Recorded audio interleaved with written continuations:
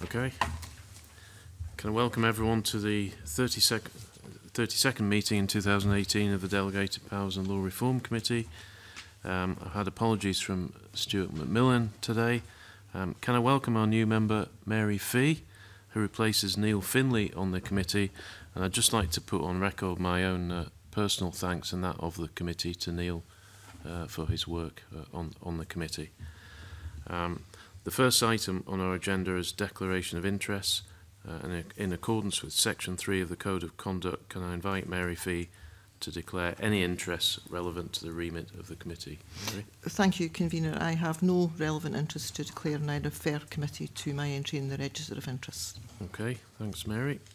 Um, agenda item 2 is to propose that the committee takes items 4 to 7 in private These items relate to the consideration of delegated powers provisions in various bills. Does the committee agree to take these items in private? Okay. Uh, agenda item 3, consideration of instruments subject to negative procedure.